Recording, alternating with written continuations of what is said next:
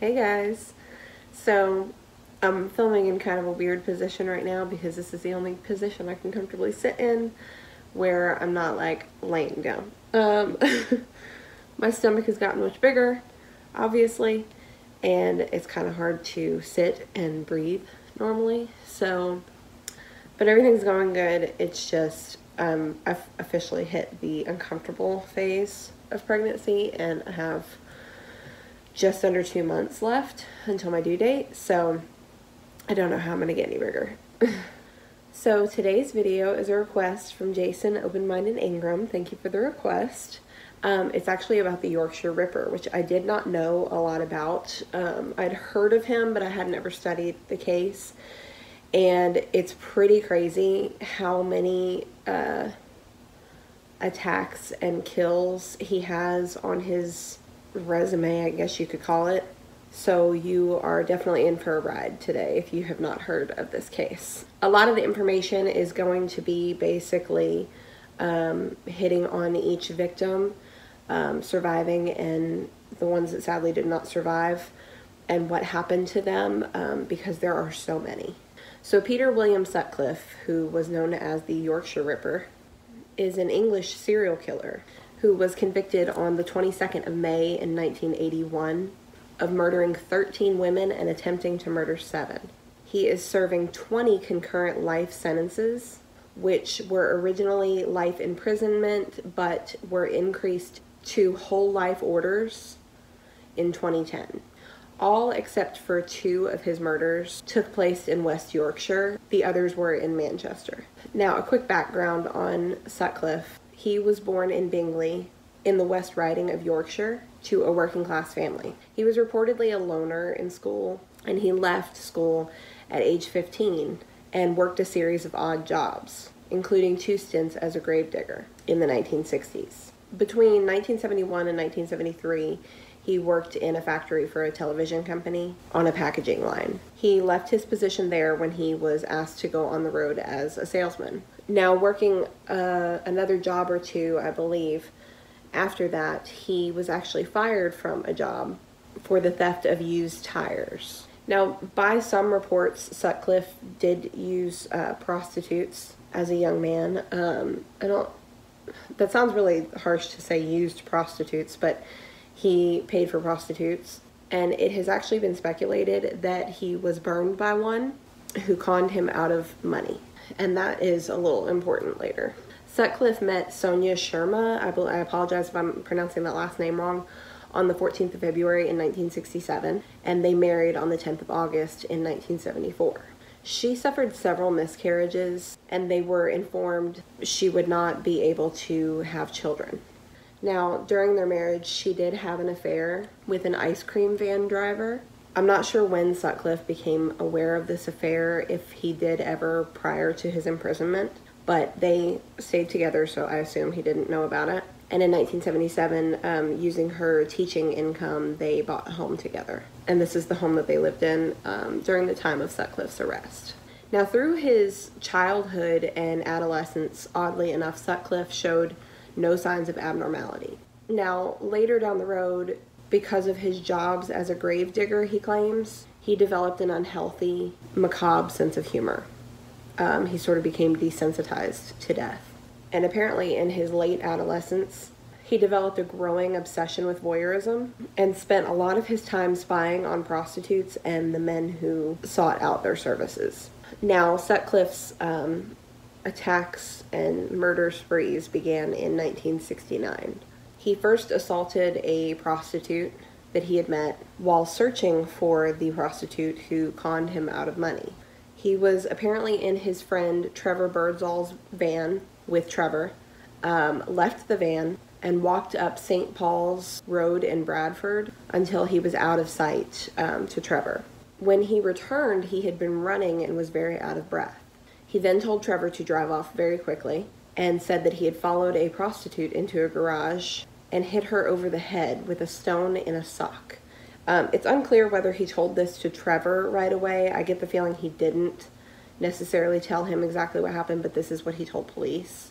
And according to his statement to the police, he said, quote, I got out of the car, went across the road, and hit her. The force of the impact tore the toe off the sock, and whatever was in it came out. I went back to the car and got in it. Now, police visited his home the next day as the woman that he had attacked noted Trevor's uh, license plate. And Sutcliffe admitted that he did hit her, but he claimed it was with his hand and not a weapon. The police told him that he was very lucky that the woman did not want anything to do more with the case, um, as she was a known prostitute and didn't want to deal with the police, basically. The next attack happened six years later in 1975 um, on July 5th to be exact. This happened in Keighley where he attacked Anna Rogulskyj, who was out walking alone, and he struck her unconscious with a hammer and slashed her stomach with a knife. Now, a neighbor overheard this um, and came to see what happened. Therefore, Sutcliffe fled the scene and left without killing her. Rogulskyj survived after extensive medical intervention, but was understandably psychologically traumatized by the event. Sutcliffe next attacked an Olive Smelt in Halifax during August. He struck her from behind, um, as he did with the previous attacks, and used a knife to slash her, this time above her buttocks. Again, he was interrupted and left his victim badly injured but alive. Like Rogulskyj, Smelt suffered major emotional and mental health problems due to this event. On August 27th of that year, Sutcliffe attacked a 14 year old girl by the name of Tracy Brown in Silsden. He struck her from behind and hit her on the head five times while she was walking along a country lane. He ran off when he saw the lights of a passing car, leaving his victim requiring brain surgery. He was not convicted of this particular attack, um, however, he did confess to it in 1992. Now, the first victim to lose her life to Sutcliffe was Wilma McCann on October 30th. She was from Leeds and she was a mother of four. Sutcliffe struck her twice with a hammer before stabbing her 15 times in the neck, chest, and abdomen.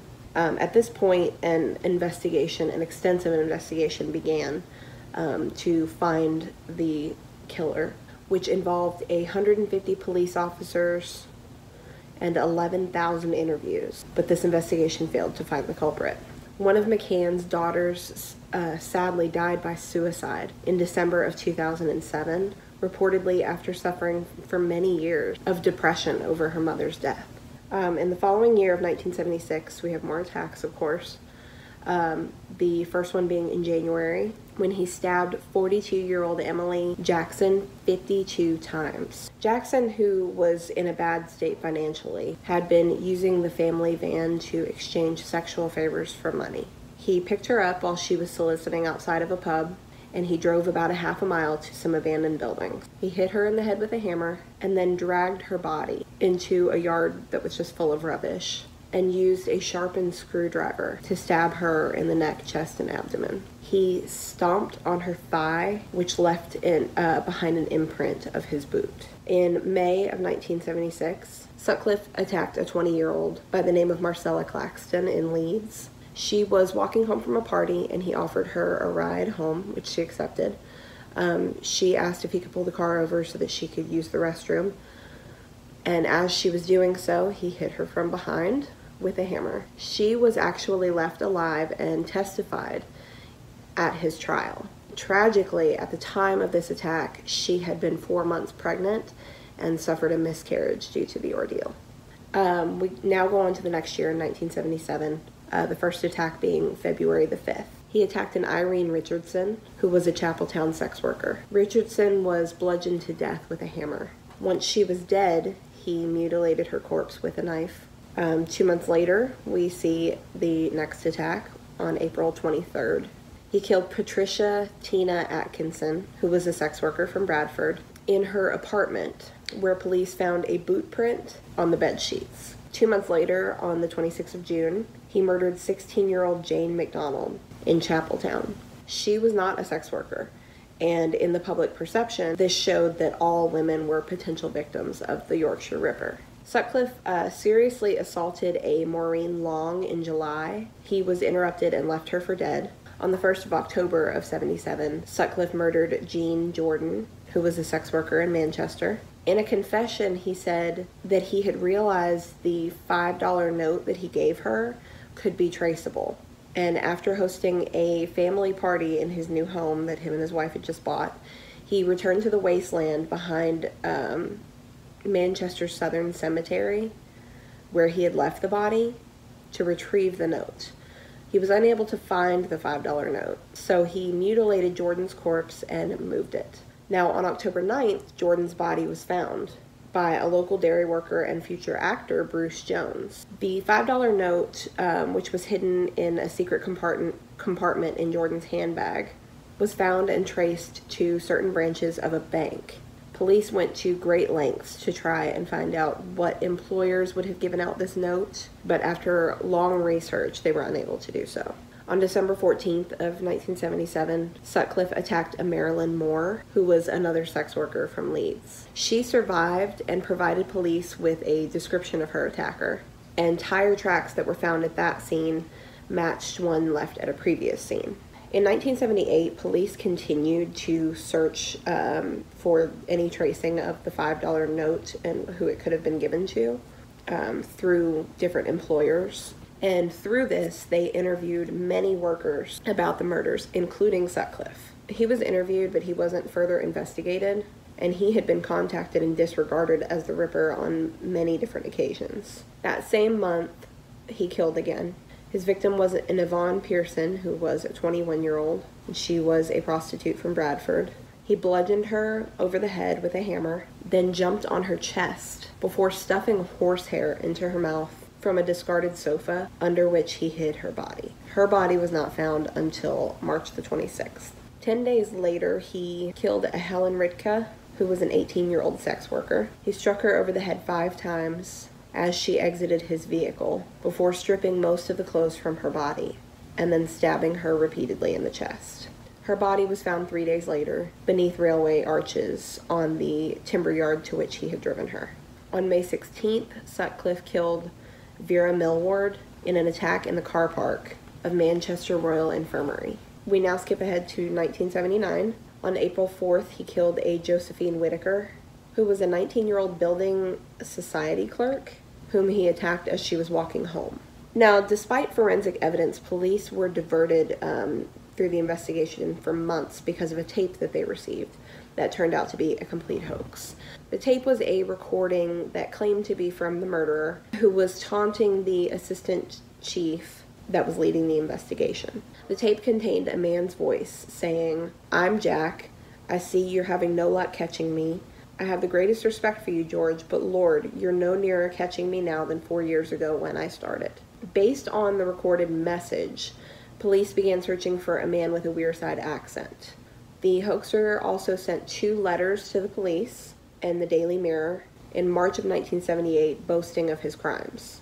The letters were signed Jack the Ripper and claimed responsibility for the murder of a 26 year old Joan Harrison, who was not a victim of Sutcliffe who had been killed in November of 1975.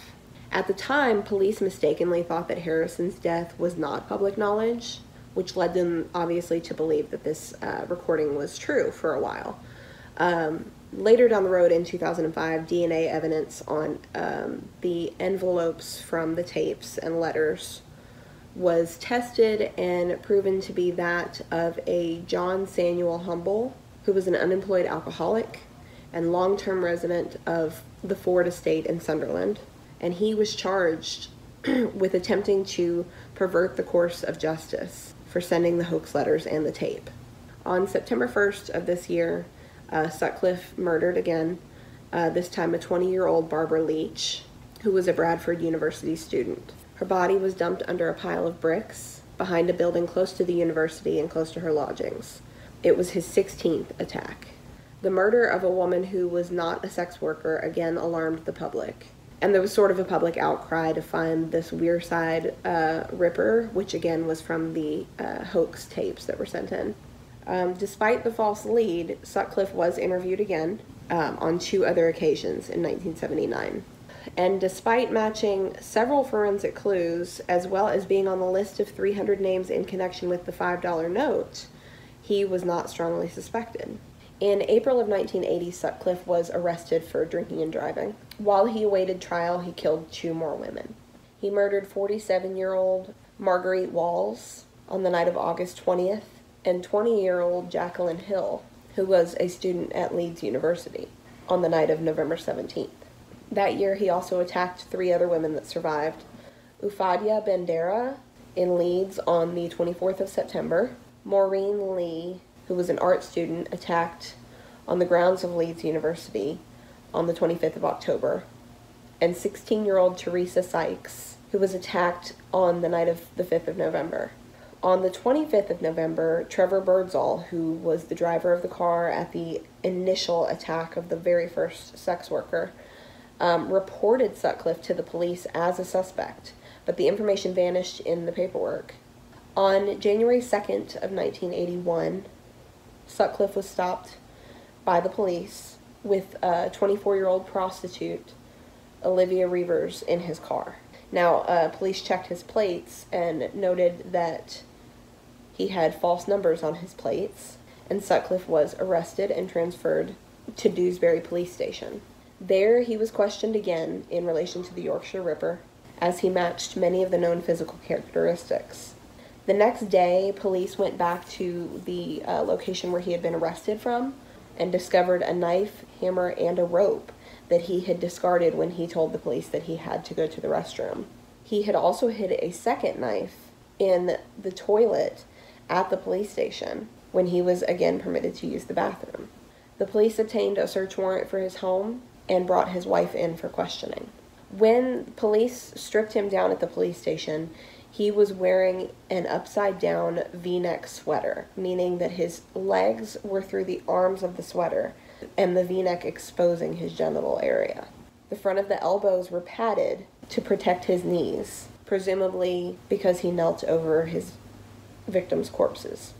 After two days of questioning, on January 4th, Sutcliffe finally declared that yes, he was the Ripper. Over the next day, he calmly described all of the attacks, and weeks later, he claimed that God had told him to murder the women.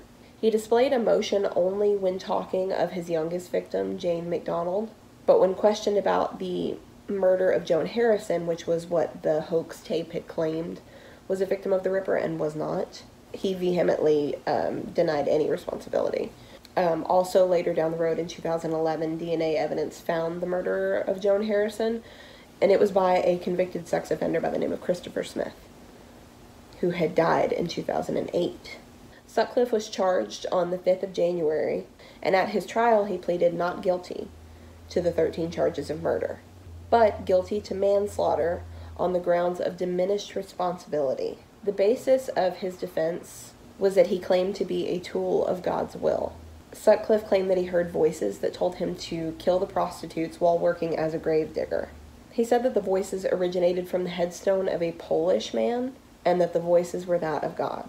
He did plead guilty to seven accounts of attempted murder, and the prosecution was originally going to accept his pleas um, after four psychiatrists diagnosed him with paranoid schizophrenia, but the trial judge demanded an unusually detailed explanation of the prosecution reasoning. After a two hour representation um, by the Attorney General, a 90 minute lunch break, and another 40 minutes of legal discussion, the judge rejected the diminished responsibility plea and the expert testimonies of the four psychiatrists, insisting that the case should be dealt with by a jury. The trial was set to commence on the 5th of May at, in 1981. The trial lasted two weeks and despite the efforts of his counsel, Sutcliffe was found guilty of murder on all accounts and was sentenced to 20 concurrent life sentences. The jury rejected the evidence of the four psychiatrists because a prison officer had supposedly overheard Sutcliffe telling his wife that if he convinced people he was mad, then he might just get 10 years in a loony bin. The trial judge said that Sutcliffe was beyond redemption and hoped that Sutcliffe would never leave prison. He recommended a minimum term of 30 years to be served before parole could ever be considered, um, which would place him up for parole around 2011. However, on July 16th of 2010, the High Court issued Sutcliffe with a whole life tariff, meaning he is unlikely to ever be released. Sutcliffe is also one of very few inmates who have been issued this whole life tariff. After his trial, he did admit to two other attacks. However, it was decided that prosecution for these offenses was not in the public interest as the victims wished to remain anonymous. Sutcliffe's wife um, obtained a separation from him in 1982 and a divorce in April of 1994. And Sutcliffe has had issues with many different inmates um, attacking him due to the veracity of his crimes. And Ian Kay attacked him with a pen on March 10th of 1997. In this attack, Sutcliffe lost the vision in his left eye and his right eye was severely damaged. On December 22nd of 2007, Sutcliffe was attacked by a fellow inmate, Patrick Sereda, who lunged at him with a metal cutlery knife, shouting, You fucking raping, murdering bastard, I'll blind your fucking other one. Sutcliffe flung himself backwards and the blade missed his eye, but stabbed him in the cheek. So that's all I have on the Yorkshire Ripper. Thank you again for the request. Um, this again was a very interesting case, very a roller coaster of um, just horrific incidents, but was very interesting to learn about. So I hope you guys enjoyed this video. If you did, please hit the like button below. If you guys have any suggestions for videos, true crime or otherwise, um, please leave those in the comments below. If you'd like to see more, please hit the subscribe button. I upload new videos every Wednesday. And other than that, I will see you guys next week. Bye.